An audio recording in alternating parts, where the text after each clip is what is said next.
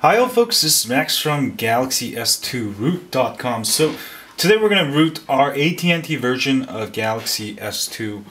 Um, you're going to, uh, first, what you're going to do is, uh, this is for Windows for right now. I'll have another uh, video on doing it with uh, Mac or Linux. But for now, we'll be using um, Windows. Um, basically plug it into your computer via USB cable like that. And then we're gonna hold down volume up and volume down at the same time. And then hold down the power button. That's three buttons that I'm holding down right now. And you're gonna wait until you see this screen where it says blah blah blah press up. Alright so get that screen right? And you're gonna press volume up. Alright. And then we're gonna go to our computer and uh, you should have uh, the driver installed. If you don't, just install Samsung Kies. I'll have download where you can download it. Um, the way to check if your drivers are installed is go to Control Panel, Hardware Sound, Device Manager, and uh, if you have under USB controls, if you have Samsung Mobile um, USB CDC composite device, let me zoom that in for you um, that one right there. If you have that, then that means you have Kies installed or you have the driver installed. If you don't, go install Samsung Kies. I'll have links below where you can do it. And then after you install it, um, you should be able to have that on there.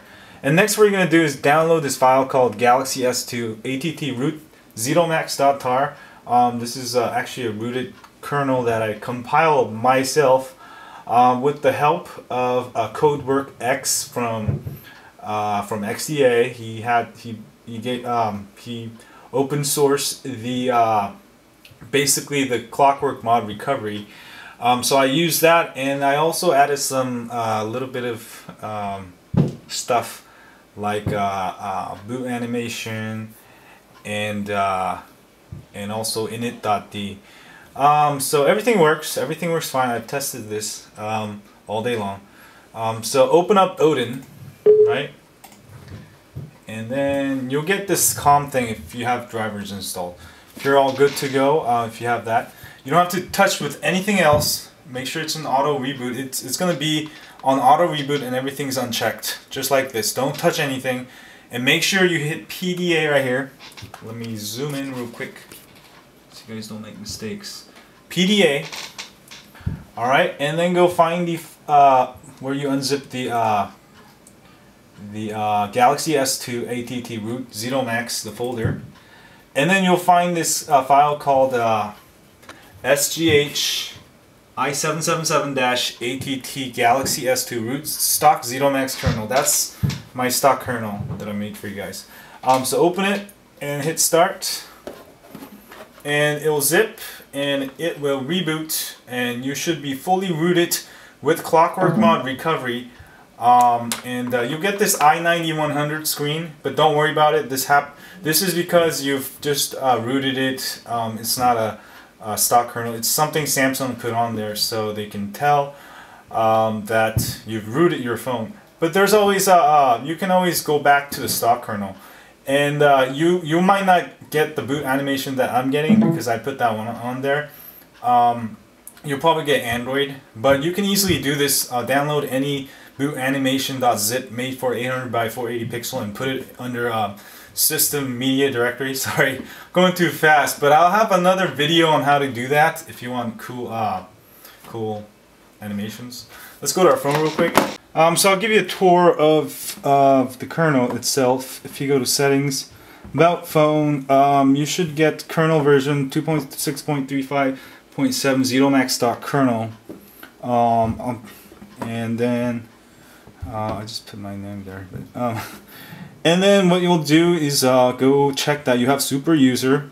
And I put on the uh, the latest super user as of you know this video, uh, which is 3.05, and also the latest binary v3, and you can update it. Um, but it doesn't matter. You can use like a 2.5, and it's really the same thing. Um, so that's about it. Clockwork mod, uh, you get the boot animation, and if you want to add scripts, you can add it to init.d. Um, the, the directory, just, I think it's, I'll have it there. And also, if you want to uh, access Clockwork Mod Recovery, basically take mm-hmm. out uh, the USB cable and the same thing without the USB cable connected to your computer. Hold down volume up and volume down and hold down the power button. And actually you should do this the first time. I'll have another video on how to back it up, but um, you can, for those of you who are familiar with Clockwork Mod Recovery, um, you can simply go here and you'll be in this menu. Let me adjust my camera so you can see the menu better. So I've put on the latest uh, Clockwork Mod Recovery 5.0.2.3 um, thanks to Clockwork X again, uh, no, Codeworkx again. Um, here you can actually uh, mount your internal storage. If you go to mounts and storage, I'll just walk you through here. Uh, and hit the home button is the select. Alright, and then you can mount as USB storage. And this will actually mount your internal storage as uh, USB. And also, if you want to uh, back up your current rooted ROM, which I highly suggest you to do, um, hit hit home button from here and then hit backup. And you can also restore. I'll have another video on it but um, just to walk you through. And also if you want to install zip from SD card um, if you choose the first one choose it from SD card that's actually the internal storage. Um, I'll show you. And then you can also I have my external SD card. That's actually the external SD card. If you choose that that's going to show you uh, external SD card. The reason for this uh, is being that, you know, you should be able to, uh, if something goes wrong and you can't access your internal storage, then you can take out your external SD card, put it uh, with a micro SD adapter, and then you can put a new ROM or recovery and restore your phone. So you can never brick your phone. So that's the primary reason of it.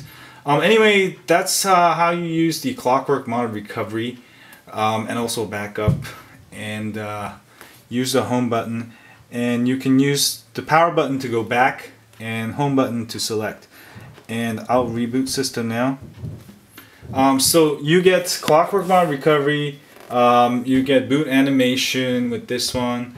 And it's pretty much stock. I've tested it like a thousand times already um, so you have a rooted uh, stock phone.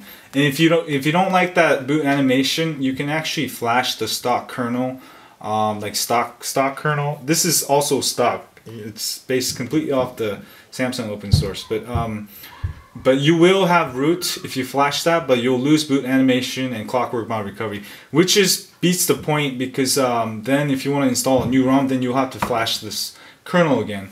Um, so it works fine. Uh, if you have any problems, don't forget to let me know at the galaxys2root.com. And uh, this is my first kernel for the AT&T um, Galaxy S2. I'll have a overclock kernel coming soon.